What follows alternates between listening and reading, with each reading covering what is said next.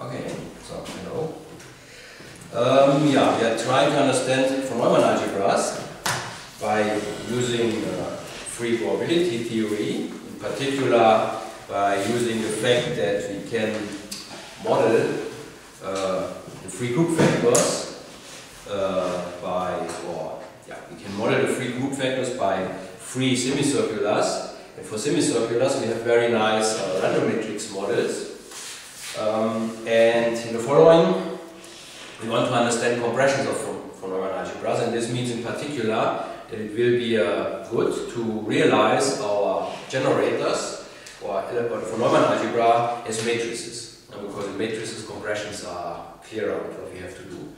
And the random matrix picture of a semicircular gives us a, a good idea how we could represent a semicircle, let's say, as a 2 by 2 matrix. I mean, we can represent a semicircle, you can think of a semicircle as a big GOE matrix, and if you want to write this as a 2 by 2 matrix, you, you cut this big matrix into blocks, and then we can understand what the blocks are.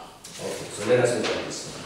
And in particular, in this context, we will see that uh, complex versions of semicirculars, so-called circulars, will play a prominent role, and actually circulars are a special case of so-called R-diagonal operators.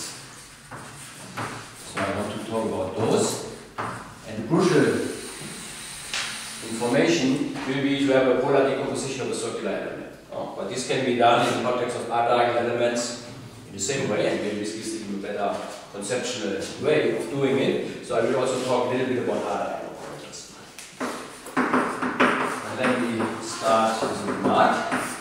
What we want to do, so I said we want to realize, let's say, semicircular element as matrices. And for this, um, think of our semicircular element as the limit of n by n matrices. So let us consider the GE um, matrix, n by n matrix, A. So this was of the form 1 over the square root of n. And then entries Aij, Aij is running from 1 to 8. And the Aij are apart from the symmetry condition, independent Gaussian, complex Gaussians of variance 1. Okay, so in principle, if n is large, this is close to a semicircular element in distribution. No? That's jetzt liegt a semicircle law. Good. But now we, we can take this big matrix and cut it into blocks by 2 by 2 matrix.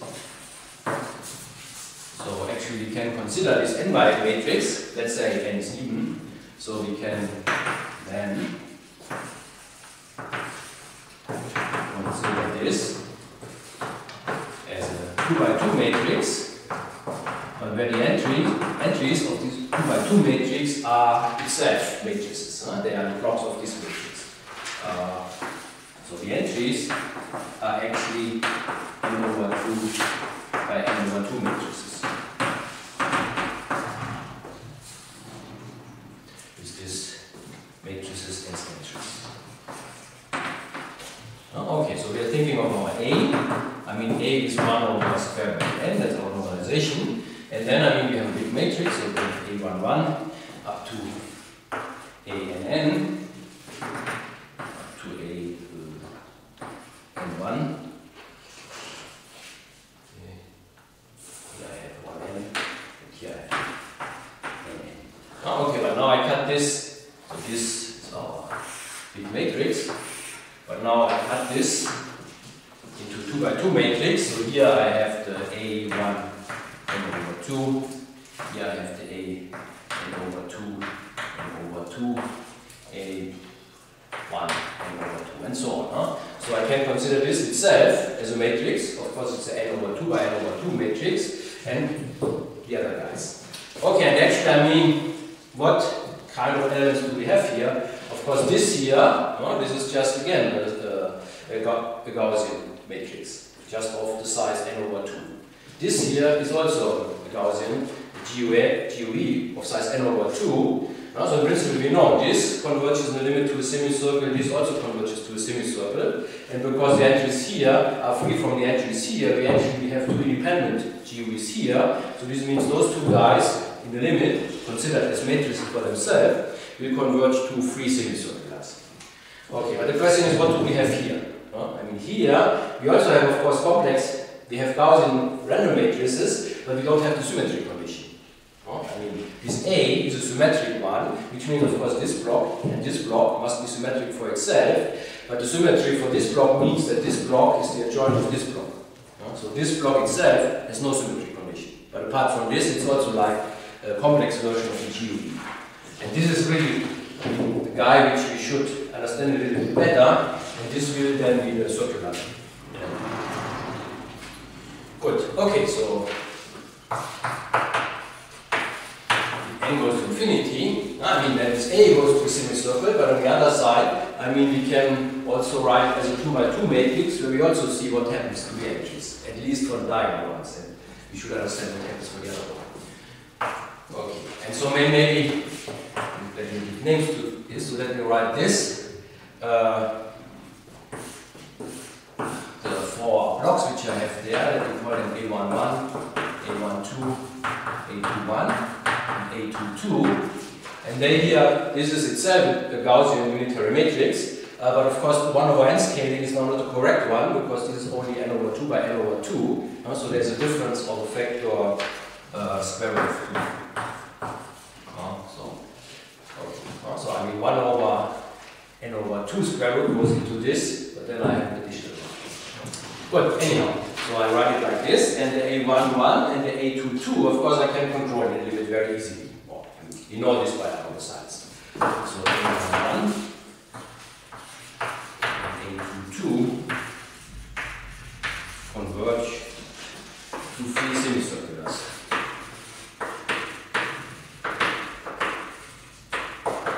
Semicirculars, let's call them S1 and S2. Uh, but what about off-diagonal elements? Oh, okay, so this is not the GUE, but it's a kind of a complex, non-self-adjoint version of this. And the symmetry, of course, is this is the adjoint of this.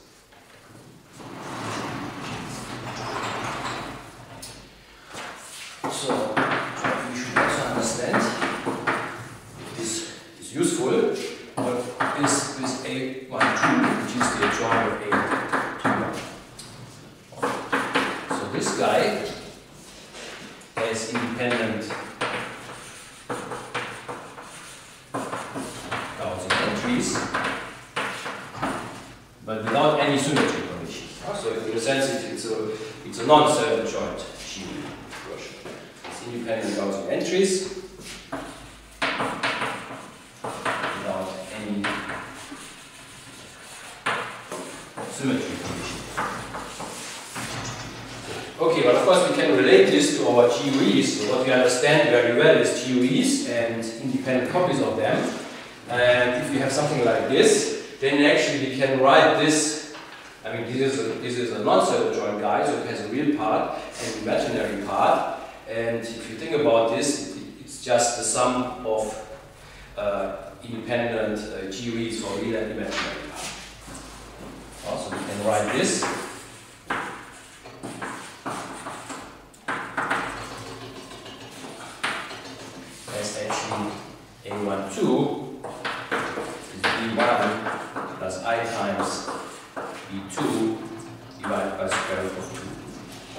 The ones and the B2s are now our ordinary self-adjoint GUEs of the corresponding size, which is here n over 2, uh, which are independent. Uh, and they are, they are just taking the real part of this guy and the imaginary part of this. Uh, and you just have to, to, to look at the entries. I mean, if you take the real part uh, and the complex part of those matrices, of these Gaussian entries, then you will get exactly this decomposition. Okay. Good. So this means uh, those guys are actually not a GUE, but they are given by something where the real part is a GUE and the imaginary part is a GUE, and those parts are independent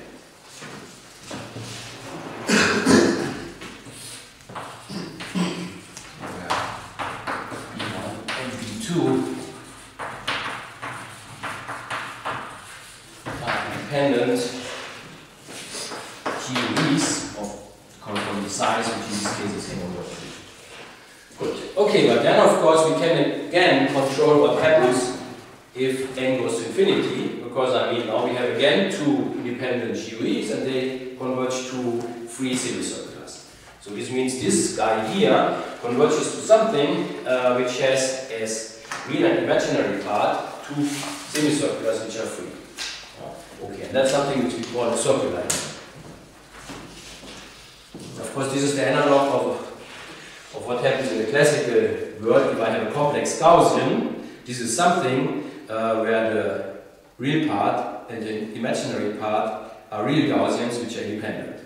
Oh, so here we have a circular guy, a circular, so a circular element is the analog of the complex Gaussian. Oh, and the real part, the imaginary part, are free semicirculars, corresponding to the fact that the real and Im imaginary part of the complex Gaussian are two independent real Gaussians. Of course, this is of course the reason that, that we get this classical entries.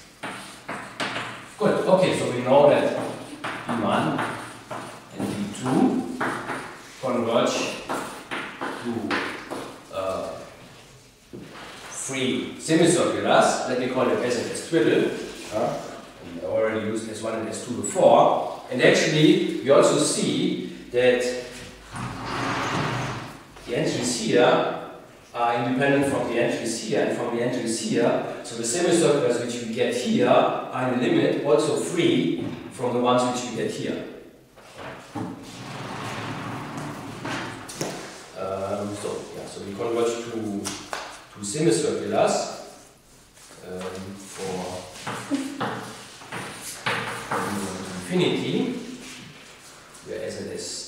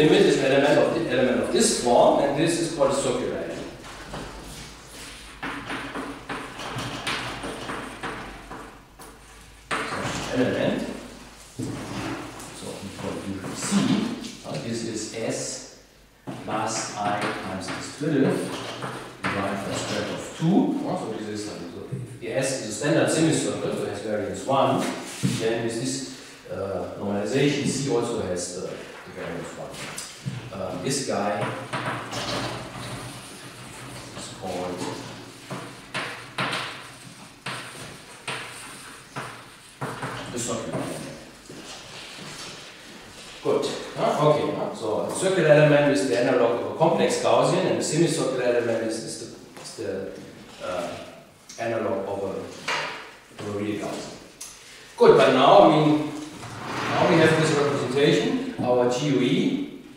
We can also write it in this form, and now if n goes to infinity, of course this side converges to a semicircular element.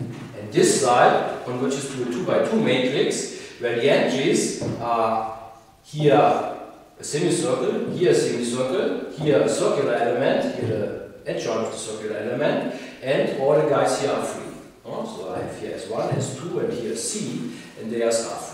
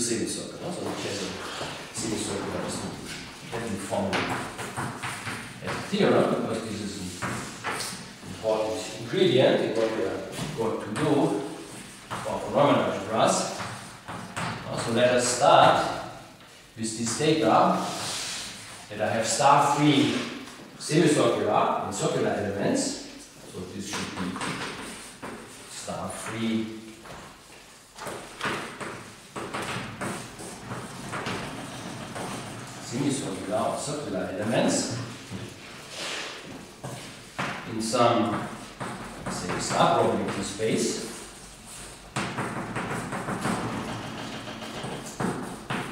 Of course, I mean later be a von Neumann algebra setting, but for for this it's still enough to look on the algebraic setting.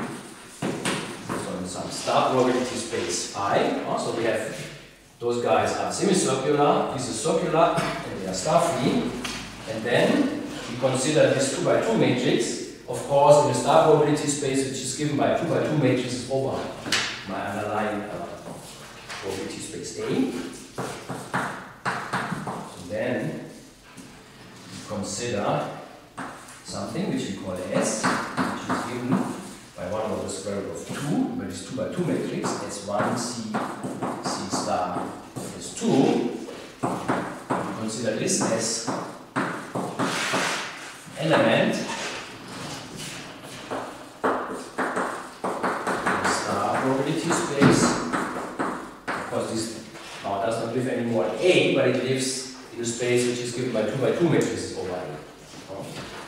So in space M2, A, those are 2 by 2 matrices where the entries are coming from A. Of course, this is again star algebra. And the state which we consider there is, of course, we compose uh, the trace of the 2 by 2 matrices with the state which we have on A. Also, we take trace. No, The M2, M by 2, M, 2 by 2 matrix over A can be identified as the ordinary 2 by 2 matrix tensor A. Um, this language did this. Uh, okay, the statement is that then this element in this space is a semicircular element.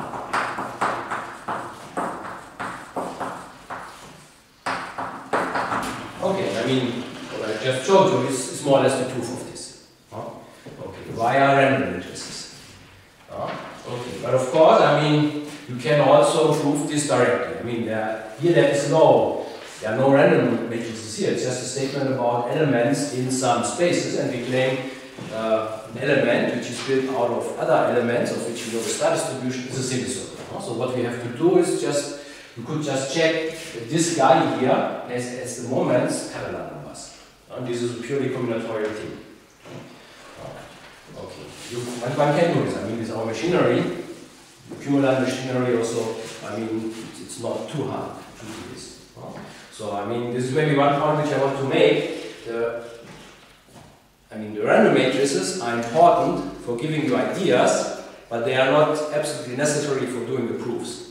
Of course, many things were proved by using random matrices, so I'm, uh, those things go back to Voiculescu, and he proved them by these random matrices, but you can, I mean, if you know what you want to prove, you can also prove it by, by different ways. Huh? For example, with analytic machinery. And one of the nice things in free probability theory is that we have uh, different ways of modeling or, or, realizing things. And I mean, some ways give you maybe a better idea what, what is true, what, what, uh, yeah, what, what you want to formulate as a theorem, but maybe some other ways are better for proving it. Uh, so you can switch between different points of views. And essentially, I think there are maybe, three ways of, of dealing with operators. Uh, I mean, uh, so if we have a, if we have operators, we have some freeness around, then of course we have the combinatorial machinery. Oh, okay, so I mean, we can just use, maybe calculate moments by using moment cumulant formulas, non-crossing partitions and so on. But here, I mean, what, what random matrices tell us, we can also model our operators by, by random matrices. And then, for example, like this, this might give you a good idea what properties you have for those operators. And another way is maybe that you can also model your distributions by operators on full Fock space. So I didn't talk too much about this in class, but in some of the assignments we, we looked on, on the Fock space that, for example, we also realize the semicircle as the sum of creation and annihilation operator, which is also a very nice uh, realization. You can also use this for modeling a lot of things. Uh, and this, I mean, uh, this sum of creation and annihilation operators has somehow the combinatorics built in, in implicit way. So it also you can also deal with all the combinatorics without really writing down formulas involving non-crossing partitions because the, the, relations between creation and annihilation operator generate some the combinatorics in a hidden way. But all those things in the end I mean, are equivalent, but I mean in some cases some of them are easier to use or maybe give you a better idea.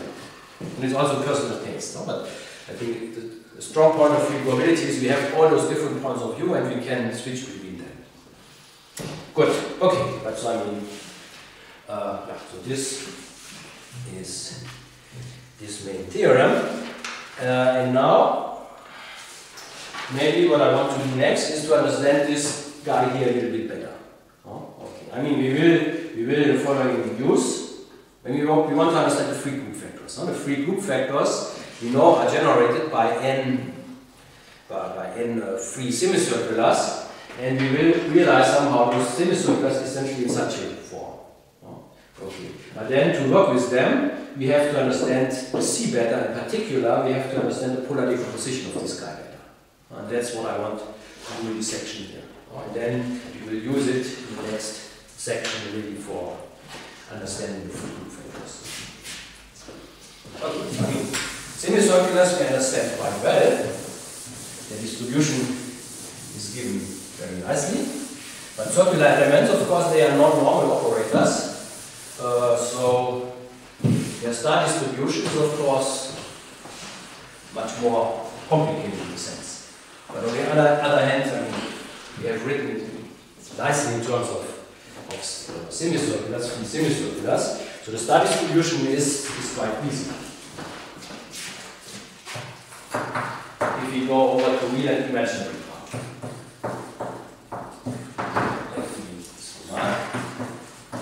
The star distribution of the circular element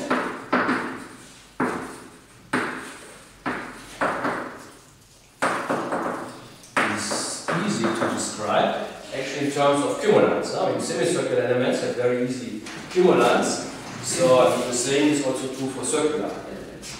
So easy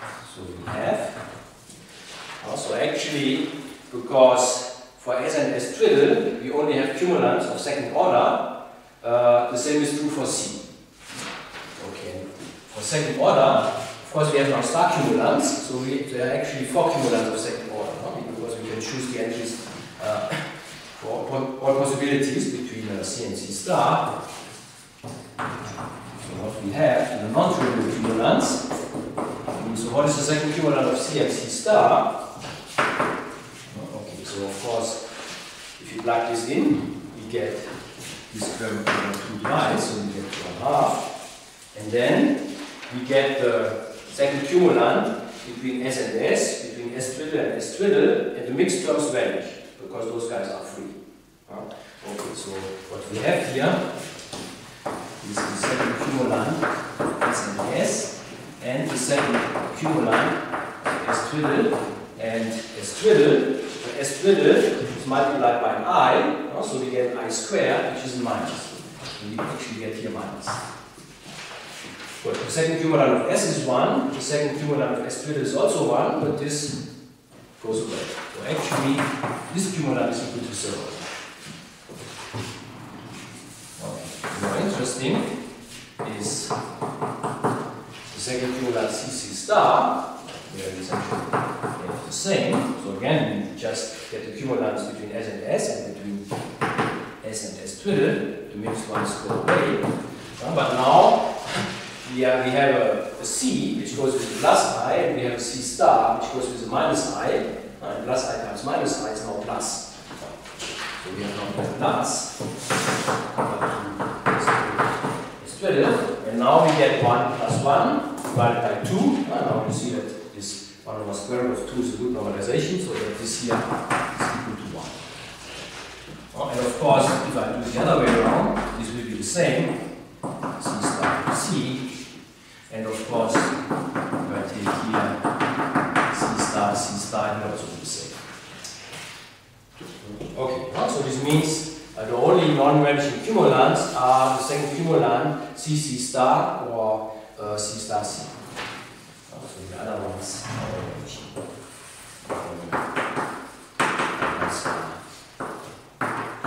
Cumulants of C. Yeah, because we know this for the cumulants of, of S in S Good, so this looks very, very nice. Uh, but actually, if we are going to work with this, at some point we will need actually not the real and imaginary part for, yeah, of, of this guy, but we, we need the, the polar decomposition. Okay, I mean this is, this is not so clear from this description. No? What is the polar decomposition of this guy? No? If we have a Neumann algebra and circular element and can be in a Neumann algebra, then we know we have a polar, polar decomposition. Polar decomposition is uniquely determined. And, so and also this, this means that the distribution of the parts in the polar decomposition must be uniquely determined by the distribution of C. Okay, so there must be a definite answer, and that's what we want to understand. Um, this is not totally true. No? So,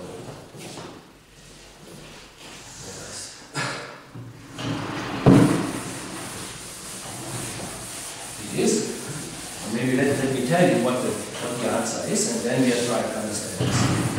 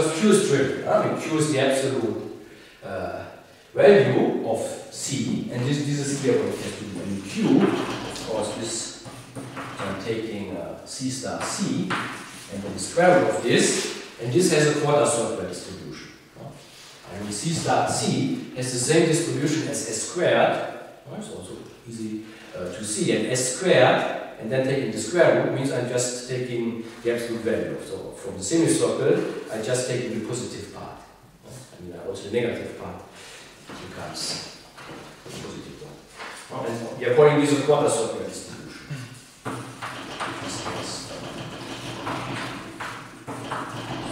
Quarter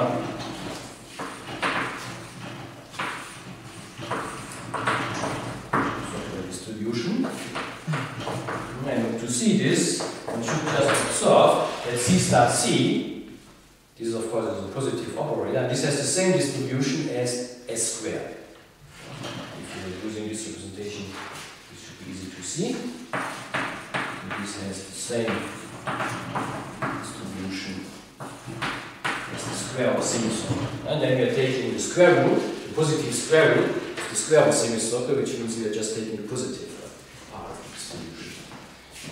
Okay, so I will do density, of course, so d mu q of t, we can write this, of course, so this is the density of the semicircle, but restricted to the positive part, and renormalized, no? not dividing by 2 pi, but only by pi. Uh, t, so on the interval from 0 to 2. Uh, the semicircle lives from minus 2 to plus 2, and now if we take the positive part, absolute, absolute value, is just lives from 0 to 2. Uh, so this some, something like this. Okay. So that's the distribution of this part, but this is clear. Huh? And for this, you don't need anything. But the question is, what is with the other parts? So what, first of all, what is the U? In general, this could be a partial isometry, uh, but it turns out here that it is the nicest partial isometry. So first of all, it's unitary, and it's also the nicest unitary, which we have in the Haar unitary. So, U is Haar unitary. So this is something which we understand well. Okay, and then the question is, what is the joint distribution between U and Q? And of course, I mean, only way we can really understand and deal with joint distributions is if the guys are free.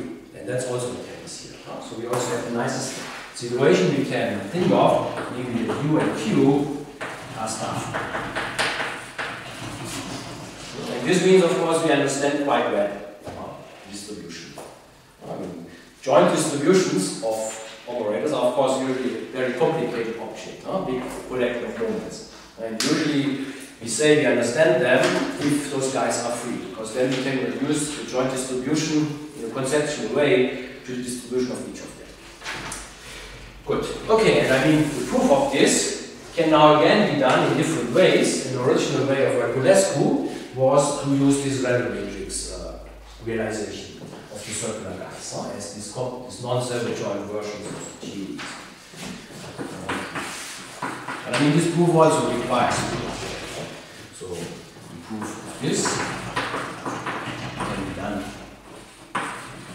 in different ways. Can be done uh, matrices. Oh, this was done by Voiculescu.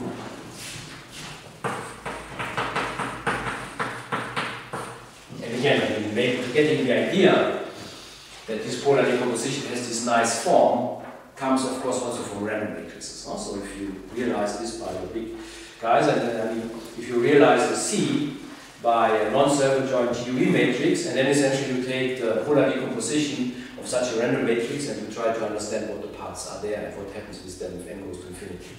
Now then this gives you this idea. Good, okay, so this can be done, but I don't want to do it this form, uh, but I want to do it by combinatorics.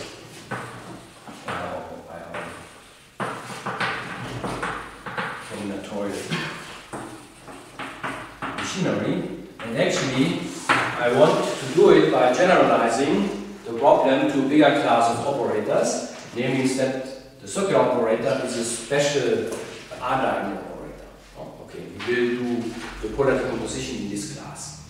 Okay, so this was something which I did with uh, Andu Nica, and actually we introduced essentially the R-diagonal operators for, mean, for, for, for getting a generalization of this result uh, of Voiculescu. Okay, and maybe, I mean, maybe I should also say, I mean, in order to prove this polar decomposition result, I mean, what we want to show is if C is a circular operator, and then for the polar decomposition, we have that U and Q have this and this uh, distribution. But to prove this, actually, it's enough to do the other way around. Namely, start with U and Q, which have this and this distribution, and then show that U times Q is a circular element. Uh, this relies on the fact that uh, polar decomposition is, is unique. So if you essentially, if you present a guy which, which, which has the properties of the polar decomposition, then you know this must be the polar decomposition. And because the polar decomposition uh, is determined within the von Neumann algebra, you also know that the star distribution is uniquely determined. Uh, okay, so if you find a polar decomposition with some given star distribution which produces you a circular, you know this must be the, the polar decomposition of the, this must be the star distribution of the decomposition.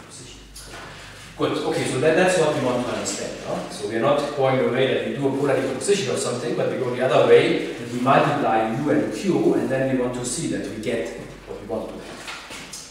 Um, good. Okay, but so I mean, what, what we want, yeah, what, what the important thing is, essentially, that we have here operators, C and U have some similarity, namely they have the same pattern of their star cumulants. And that's what the R-diagonal operators, uh, yeah, definition. Okay, so the main point, the main point in this combinatorial approach is that the star distribution of a circular element uh, has a specific pattern, and this pattern is maybe, I mean, there are not, there are not many, I mean, many of the star moments are zero, so most of them are zero. There are only two which are not zero, but among the four which are possible, you see essentially what we have here is an alternating pattern in C and C star. Uh, so the guys which are not zero are alternating in C and C star. And that's the crucial point. That will be the definition of R-diagonality, that we only have uh, non-vanishing star cumulants if we have an alternating pattern in A and A star. And actually, in one of the assignments, we were asked to calculate the star cumulants of a Haar unitary, and there you should have observed that this also has this property. So this somehow tells us that if we have here this alternating property for the cumulants, this also goes over to the polar decomposition. So the U which shows up here should also have this property, and this means it's essentially it has to be. Good. Okay, so the main point of the combinatorics which is behind the whole thing here is, so the star distribution, the main point of the star distribution of C is that it's non-zero cumulants are alternating in C and C star. Of course, I mean, you only have a small sample of non-zeros. So from this point, it's hard to say whether this is not crucial or not. Huh? But maybe if you see that the same is true for, for Haar unitary, then maybe this gives you a hint that this might be an interesting class of operators which have this property. Okay, that's the class which we are calling R-diagonal operators. And we want to investigate this class a little bit better and in particular we want to check what their polar decomposition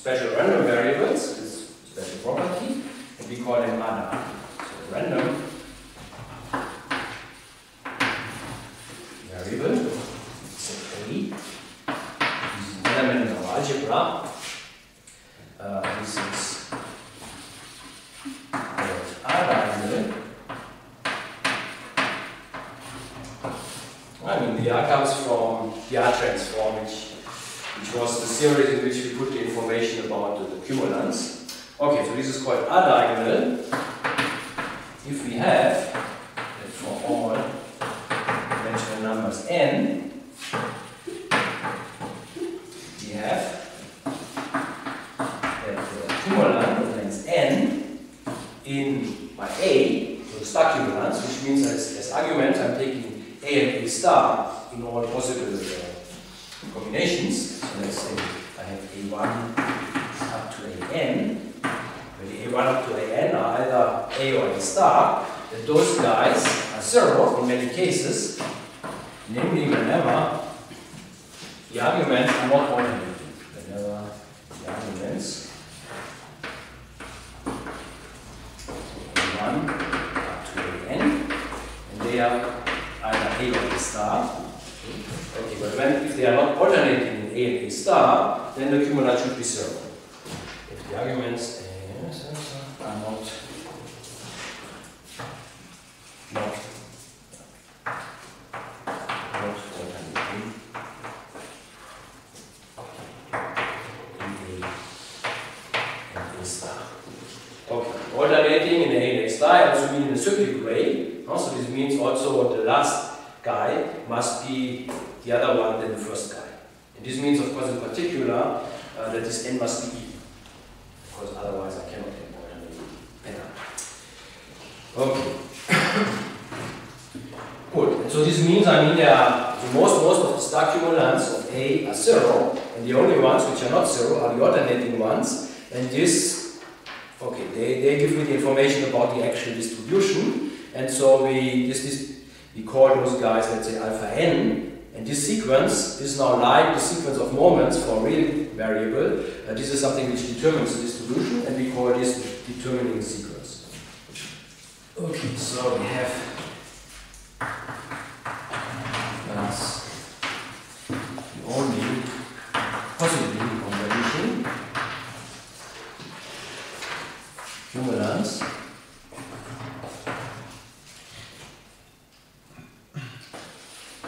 maybe better star cumulants star cumulants of A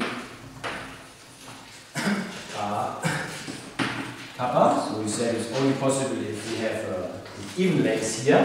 Okay then we can either start with an A, but then of course the next must be a star, then again A, A star, and so on up to the end A, A star. Okay, so this has two n arguments, n of them are A, n of them are A star, and this is what we call alpha n. And of course, we could also start with an A star, but if you're in a tracial setting, this will be the same as see. In a non-tracial setting, they could be different, but so I will stick to the case that they are the same.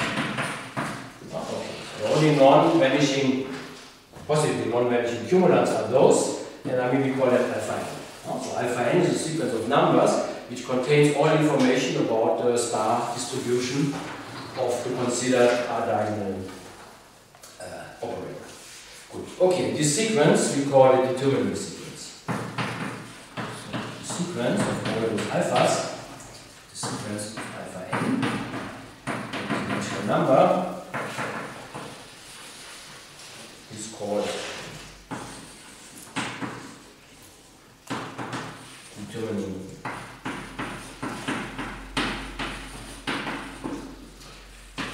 sequence of data. Good.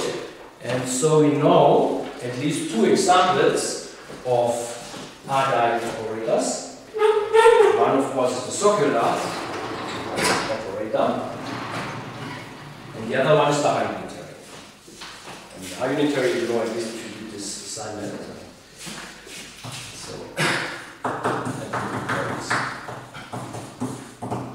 So, an example, the first one is by the graph, I mean, where we calculated the star cumulants of a circular element that we saw. I mean, I mean, there are many things are zero. no? So, I mean, most of those alphas are zero. And the only one which is not zero is alpha 1, which corresponds to the second uh, cumulant. And then this is, this is the cumulant of CC star of C star C.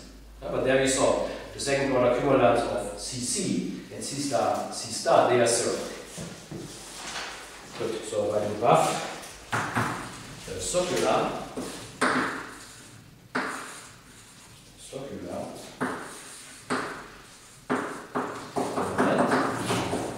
is a diagonal.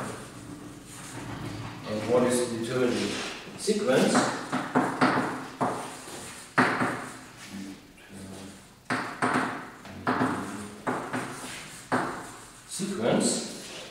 Okay, So, so alpha 1 is 1 uh, because this really corresponds to the fact that kappa 2 of CC star, uh, which is the same as kappa 2 of C star C. Uh, so, so this is this is 1.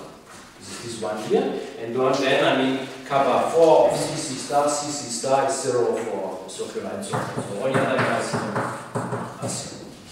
So this is a very easy determining sequence. Good.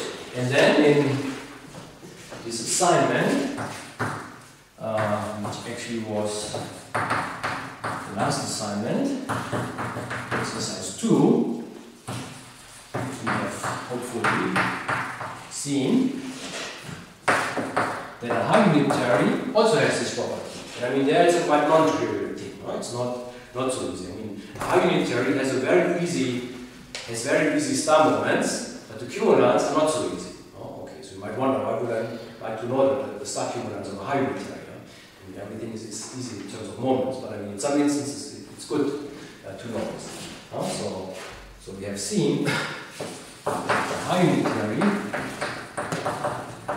uh, also a diagonal. And the determining sequence, the alpha n, so I mean all of them are different from zero, and it's actually again this alternating sequence in the Catalan numbers. So it's minus 1, 2 minus 1, c and minus 1. Uh, So it's a shifted sequence, shifted sign sequence in the Catalan. So this means, for example, kappa 2 of u u star, uh, this is 1, uh, this is n is equal to 1. So I get here C0, which is 1. Then kappa 4 of u, u star, u, u star is minus 1. So it's minus the first parallel number. Kappa 4 of u star, u, u star, u, u star plus 2. No? The next parallel number, and so on. And all the cumulants which are not of this alternating pattern, they are 0. Okay. And actually it turns out, it's quite easy to see, that U, I mean U is, is a normal element.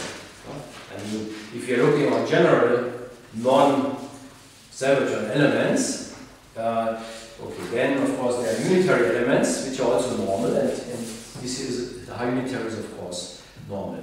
But the typical, uh, typical R element is like a C. This is not normal.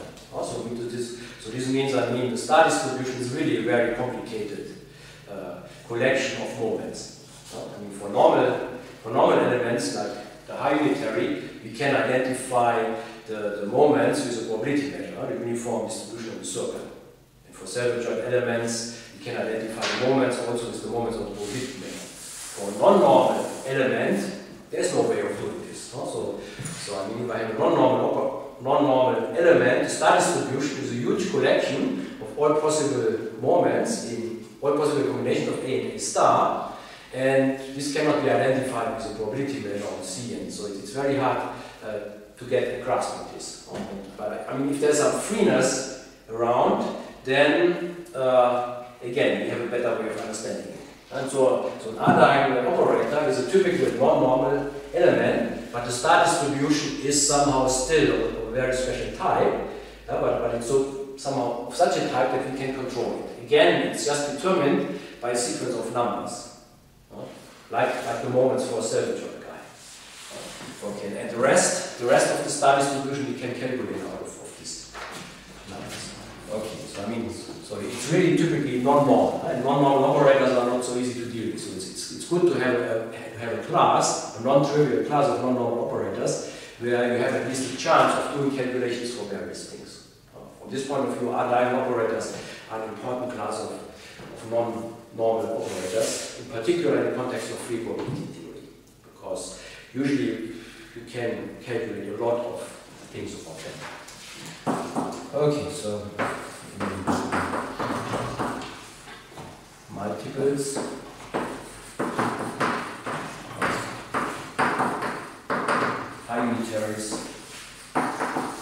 are the only normal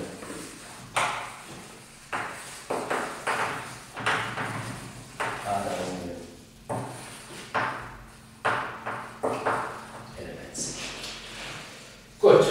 Okay, so when I introduced this, this undo, Andu Nica, uh, our idea was somehow to interpolate,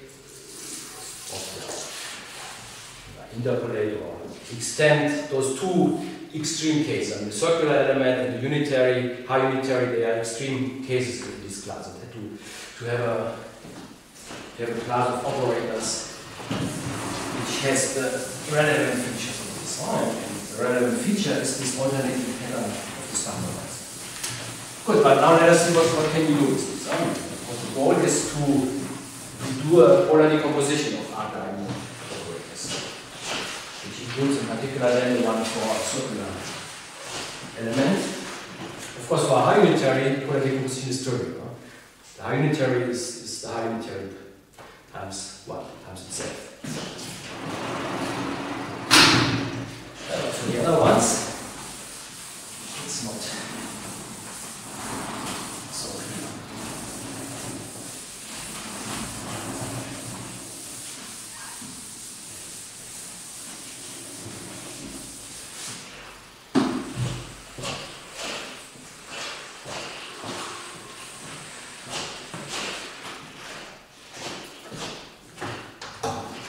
Good, and yeah, to get some idea on this is uh, what we have to see that actually the determining sequence determines in a very nice way uh, the distribution of AA star and actually in a way which we can also invert.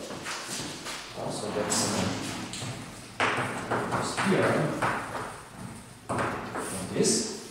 So let A be an R diagonal element. So what we know about A also are the alternating cumulants, which are the alphas. And now I this, this determines the star distribution of A, in particular it determines in some way, of course, the star distribution of A star. Uh, but I want to tell you that it this in a very nice way. So namely then, we have for all natural numbers, cumulants the nth cumulant of, let's say, A, A star, comma, A, A star, and so on, A, A star. So I'm looking now on the random variable A, A star, a positive operator. this has to be determined somehow in terms of the alpha, but the formula for this is exactly our moment cumulant formula. Uh, so namely, I'm summing here over the non-crossing partitions of n, and then I take here the multiplicative function given by the alphas. Uh, so this alpha pi here, this is our usual notation. Uh, so this is multi multiplicative function where we according to the Bloch's function. This to the sequence of numbers to these alpha n's. Also, this alpha pi. This is just given by taking a product over the blocks of pi, and for each block I take the alpha, and where the index is just the size of the block. So alpha, the size of the block. That's our usual multiplicative extension of functions, or we have our linear functions. Okay. Uh, so if I have a sequence of numbers, I can define this multiplicative function. And of course, the distribution of A A star and distribution of A star A is the same. So this is also the same in our tracial setting as the cumulants of A star A, A star. Good. Okay, but this tells us that, I mean, those cumulants here, which determine, of course, the distribution of A star, are given by a moment cumulant formula in terms of these alternating cumulants of the alphas. And of course, by Möbius inversion, this means uh, that the alphas are determined by the distribution of A star. Oh? So the alphas a priori are determined by the star distribution of A. But this here tells, tells us that the only thing which I have to know is the distribution of A star, which is the cell joint. So this distribution is a probability measure on R plus. Okay, and these alphas are determined by this. And the knowledge that I of course. So this is maybe the most important conclusion. This was important for us, that by Möbius inversion, or just solving this equation in terms of the alphas, uh, hence by Möbius inversion, the alpha n, and thus the whole star distribution. Of A uh, is uniquely determined by the distribution of this operator A star, by the distribution of A, A star. So if I, I know I have an R-diagonal operator, in order to decide which one is it, I just have to look on the distribution A, A star A, star A. In particular, if I have two R-diagonal operators, and I want to see whether they are the same or not, I should compare their, distrib distribution of A star A. If this is the same, then the whole, the whole distribution is the same. Good. So the proof of this is a nice application of our combinatorial machinery, in particular the formula for products in cumulants. Of course, you see have here at the end I have a product, and we have a nice formula for this. So we have, I have to prove this uh, formula. Good. And of course, we will use this to our formula for cumulants where the entries are products. So what I have here is kappa n, A B star, A star, and so on, A B star. And we know that I can write this in terms of the cumulants of the separate, of the single entries here. Uh, I'm summing over all, say, sigma non-crossing partitions of Okay, here I have n arguments, each of them is in order of 2. Uh, so altogether I have here uh, 2 n elements. So sigma is a non-crossing partition of 2 elements. Here I get the, con the contribution kappa of sigma of a, comma a star, comma a, comma a star, and so on, comma a, comma a star. Good, but I'm of course not summing over all sigma, but only over those which respect somehow the multiplication here.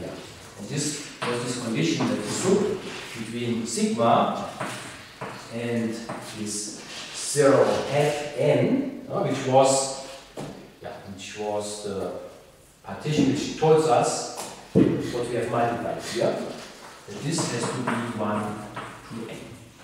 Right, that means this guy here is just given by blocks of the position which are multiplied, and here of course I multiply the first and the second element, the third is the fourth, and so on. Also, this is just a pairing which pairs uh, consecutive uh, elements.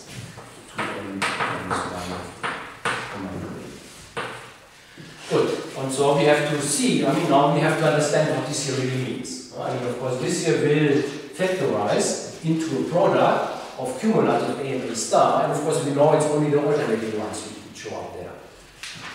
Uh, but I mean, a priori might not be so clear what, what we really have here.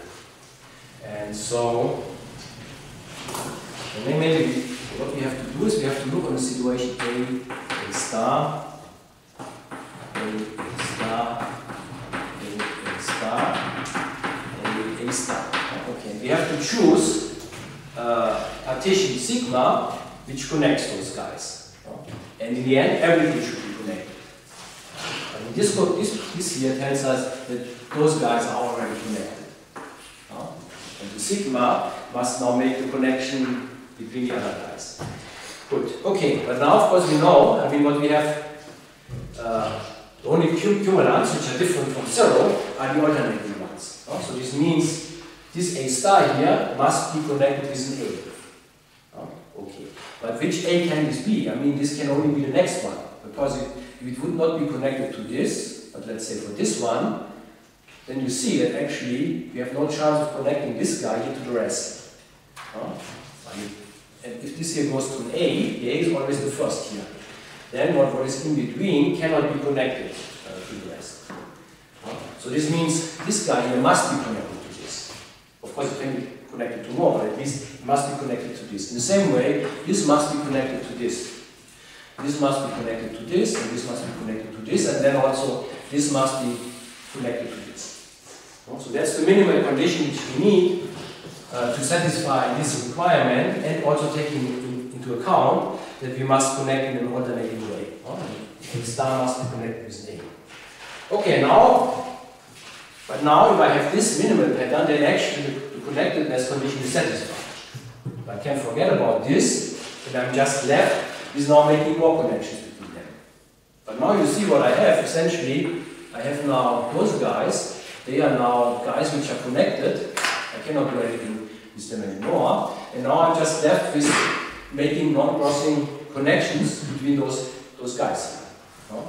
But I mean, uh, those are now endpoints, so I'm doing a non-crossing partition of endpoints and the corresponding cumulant which I get for this will be of course an alternating one, alpha star, uh, A star A, A star A and so and the contribution from this sigma here will be exactly this distribution there. Oh, okay, so let me try to write this down a bit. So note that a star must be connected next with A. Uh, this is the other identity.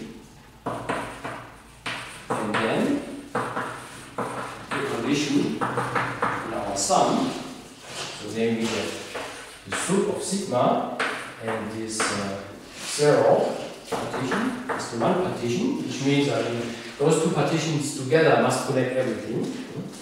Um, this condition enforces that the A here must actually be the next So this A star cannot be the next to which it is connected, cannot be any of those, because this would uh, violate this condition. So that this A this A must be the next A. Oh, okay. And So this means uh, um, the, the sigma which contribute here must at least have those connections. Hmm? So, hence, contributing sigma must make at least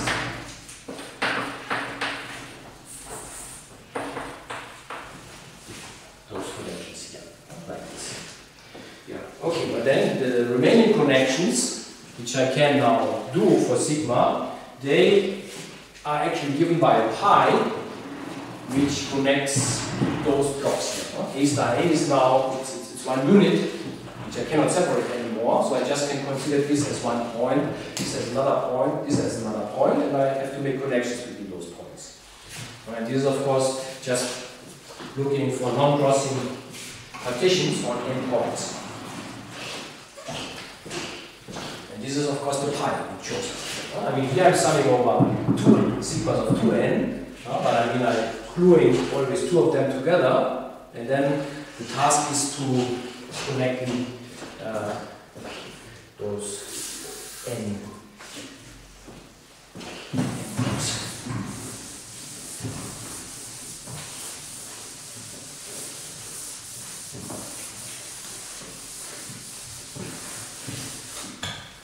Good, so.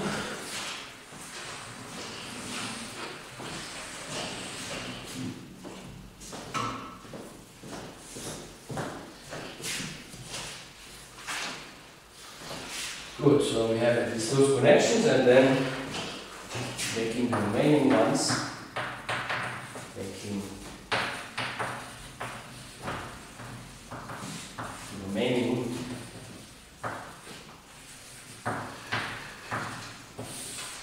Connections for the sigma is now the same problem, the same problem is choosing uh, pi, which is now a non-crossing partition of n positions, but actually, I mean, you, you can think of each of them as being uh, one of these A star A's coupled together, of those pairs. Okay, so we're choosing those and we have, don't have constraints anymore uh, because this connectedness condition is already satisfied. Uh, so we just choose any non-crossing partition there. And then the factor which we have in our formula here is kappa sigma is then really exactly the same uh, by this alpha pi.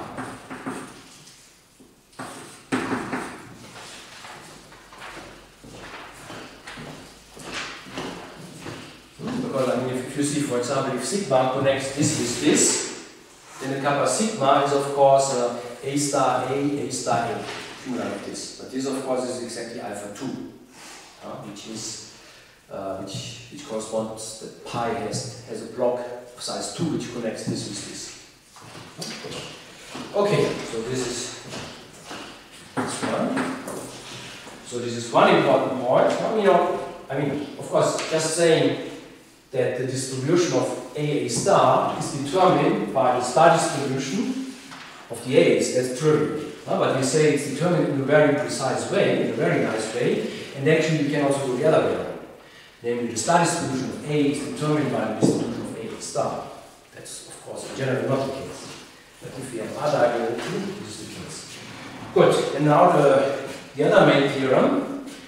Okay, so, so this tells us that if we have two R diagonal elements, we can decide whether they are the same or not by looking on the distribution of A star. Good. Now the other main theorem in our context is what happens if I multiply an R diagonal element with something else. Uh, That's going into the direction of our polar decomposition. Because there we want to see what happens if I multiply a Haar unitary with something else, which is free. Uh, And there we have a general statement that if I have tracial star probability space, and I have two elements there, let's say A and B, A, and assume they are star free, and then the claim is if one of them is R-diagonal, and the other can be anything it wants, then the product is also R-diagonal.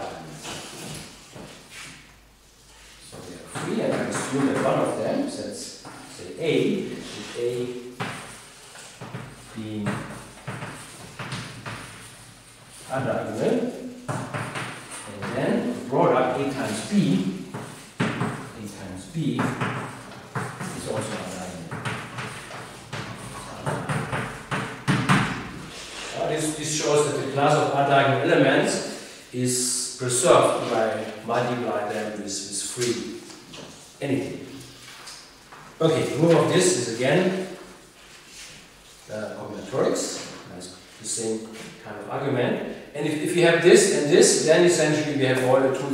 tools for doing this polar decomposition. Huh? Maybe then it's already clear. You just have to put those two things together.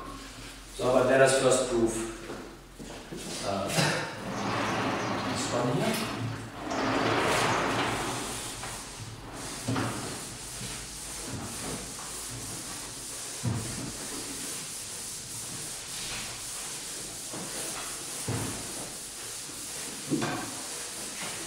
So, what, so we want to show that A times B is R-diagonal, and by definition this means that non-alternating cumulants have to be zero. So we have to check such a non-alternating cumulant, and we have to see that this must be zero.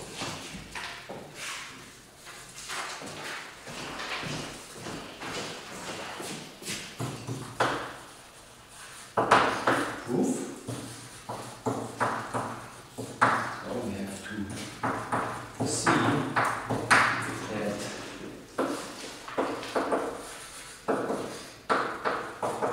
non-alternating star cumulants in AB A times B vanish. Okay, and this means if, if- so I'm looking on cumulant where the entries are AB or the adjoint of this. Of course, the adjoint of AB is B star A star. Okay, so I have those as entries. And if it's not alternating, then of course it means at some place in the cumulant for the arguments, an AB. Or maybe the same for, for the stars. But, but it suffices to consider this, this one situation. So,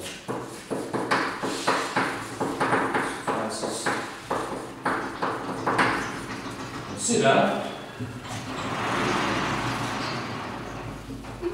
it's a cumulant which has some entries, and then at some position I have B, and at the next position I also have. Uh, alternating would mean I should have here a star. If, it's not alternating, then at some place I must have something like this, or maybe the same for the stars. Okay, we only consider this situation. And we have to see that such a thing cannot happen. So such a cumulant must be zero. Okay, so we consider this, and of course again, each entry here is a product of two guys. We use our formula uh, for cumulants where the entries are products. This tells us we have here sum, again over pi over all arguments. So here I have here n, but each of them is product of two. So altogether I have 2n. And again I have this condition that uh, p sub is 0 n hat is the one to n. Oh, and the 0 n hat is again the partition which uh, has blocks the first two elements, the third and the fourth, and so on. And the contribution here is kappa pi, and here I have now A, B, and B, and all the other ones which I have there about. Okay, I must see that under this constraint, there is no contribution. And of course, we have to use the fact that A is R-diagonal, which means here the pi must connect alternatingly A and A star. For the B, I don't have any constraint.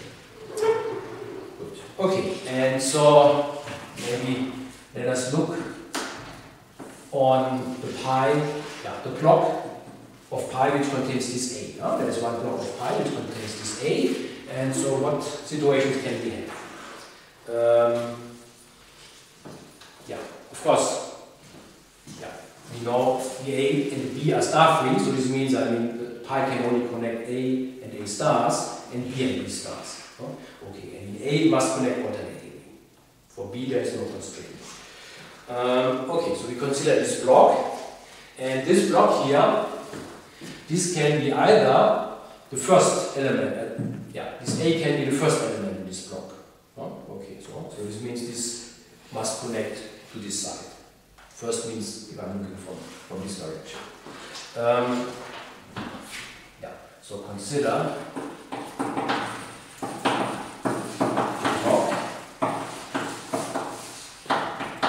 containing this, this, this is the second of the A's uh, in this situation here. Putting the arrow there to indicate the position. Uh, okay, for this I have two possibilities. Either it's the first A in this block or, or it's not the first one. And let us look on both of them. So this is either uh, first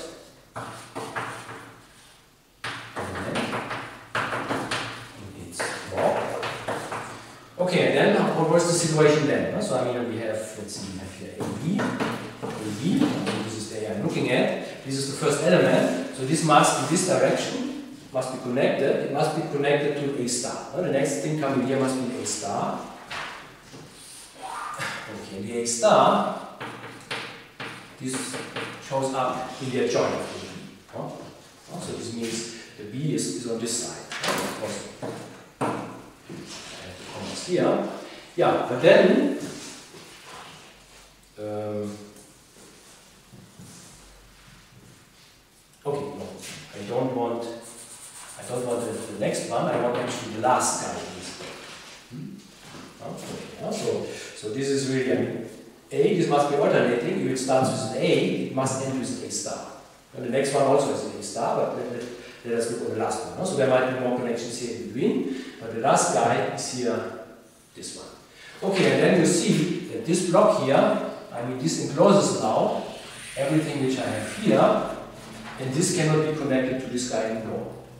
The other guys without having crossings cannot be connected to this. So this means uh, this here is not, not possible. Because otherwise I cannot satisfy this condition. Okay, so, so this here is the last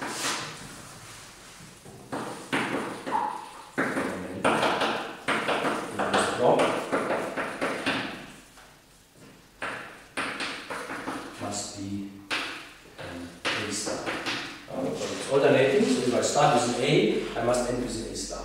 If I start with an A star, I must end with an A. Good, so that's one possibility, that uh, this A here is the first guy. But of course it could also be, it's not the first one, then of course the block would also go in this direction. So let, let us see, uh, we also can see that have a problem there.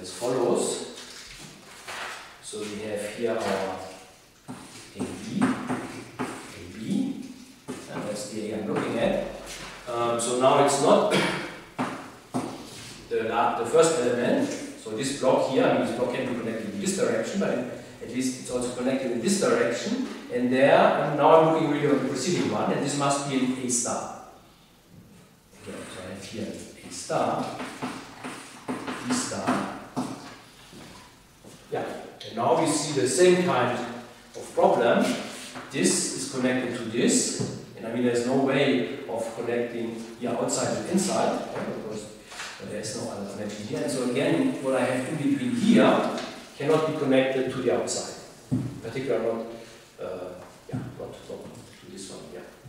And there is something inside, it's AB, it's not empty inside. So this means this is also not possible. I can also be not satisfy this condition here, that everything is connected.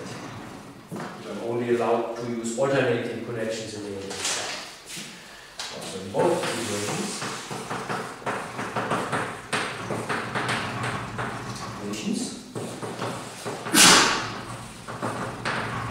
equation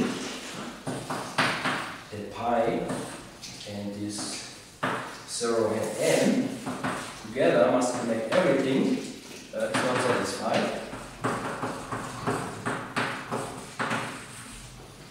Uh, hence, there's no pi. Uh, I mean, either pi does not satisfy this condition, or if it satisfies this condition, the contribution of kappa pi is equal to 0 because uh, So they have their own non-alternating cumuli in the game.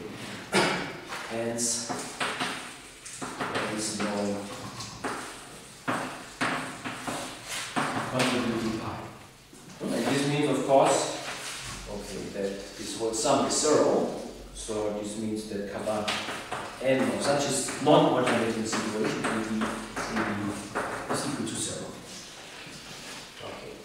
like, you can do the same if you have a b star, a star, b star, a, a star. Okay. And of course, I mean, it could also be a cyclic way. I mean, that, that one AB is at the end, one the other is at the beginning, but of course, the arguments are all in a cyclic way, because you can do the same kind of argument. Good. Okay, so that's this. Yeah, so we have now two, the two main theorems, let's say, about R-diagonal elements, also namely that, uh, uh, they are determined by the distribution of A star A, and that if they are not changing the R diagonality, if I am multiplying them with something which is free. And this is now really enough for the polar decomposition, because what we want to show or to see is what is the polar decomposition of an R element, and the claim is that it's like in the in the circular case, it's actually very nice, namely the polar part is always a Haar unitary and the two parts are free.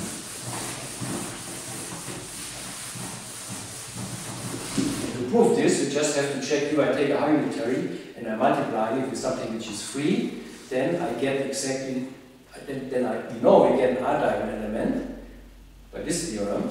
So this means I only have to adjust uh, the absolute value, but this I can do by choosing a distribution of the square of the line.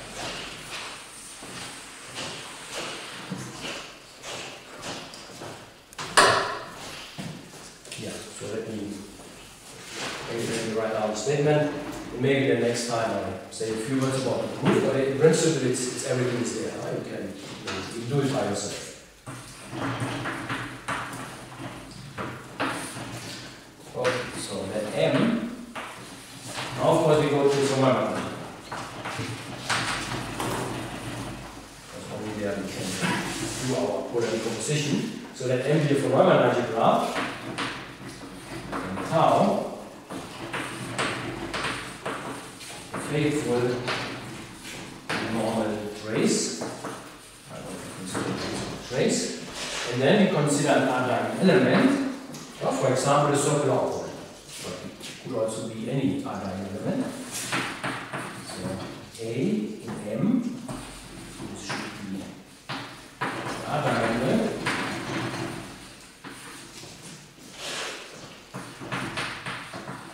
operator. Of course, with respect to this tau? I mean, is something for the star distribution, but of course we have here. So that's tau. Um, and, okay, I need, I have to be careful that My polar decomposition unique. No? Okay, so I have to assume something on the kernel, and if I, I multiply something with a Haar unitary, and then something, then I'm not getting a kernel. So I can only get uh, elements here which don't have a kernel, where the kernel is zero. Or I should assume this. Uh, because otherwise the polar decomposition is more complicated. And assume that the kernel is just zero, which is, for example, the case for certain value. Okay, then, claiming then the polar decomposition of my operator A, decomposition A, okay, this is always of the form u times q. Uh, but now I can say something very specific about the star distribution of u and q. So this A has the following uh, star distribution. Good. So first of all, um, U is really a Haar unitary. Oh, okay, so the R diagonal operators all have the polar part as a Haar unitary.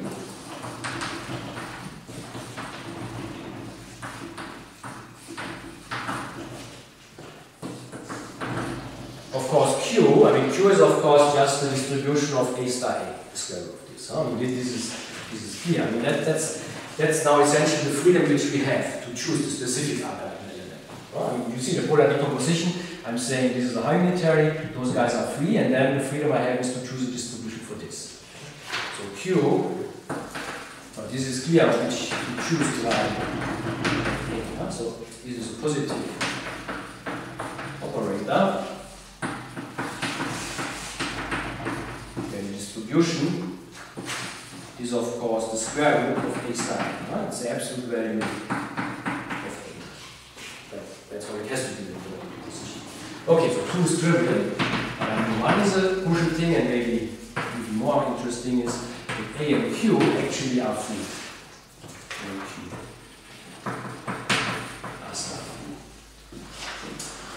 So the two two components in the polar decomposition again have this very nice. Uh,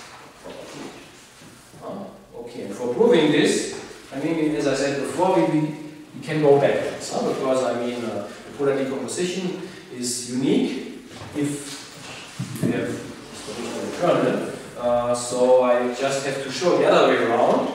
If I take elements which have this property and then I multiply them together, then I want to see that I get this other. But here if I have, I have a Haar unitary which is R diagonal, I multiply, multiply it with something which is free, so I get an R diagonal operator, and then I just have to check whether it's the one which I want, if the distribution of uh, the absolute value of this guy and the absolute value of this guy is the same, but of course I have chosen the absolute value of this guy, that it is exactly this.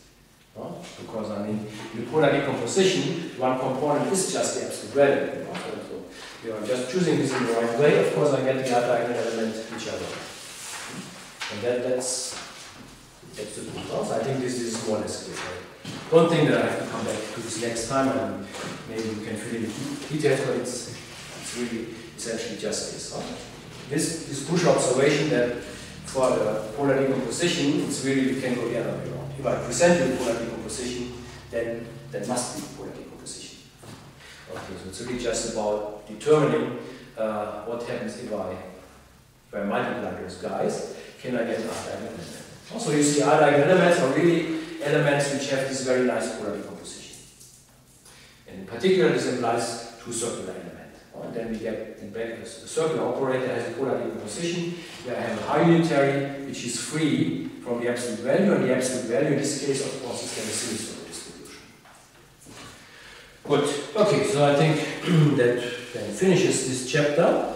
And then next time, next week, we are coming back to the question of trying to use this uh, information and also the idea of representing, let's say, semicircular elements as 2 by 2 matrices, uh, to use this for getting uh, information about uh, compression of free group factors, which gives us some, some interesting uh, information. Good. Okay, so see you next week. Thank you.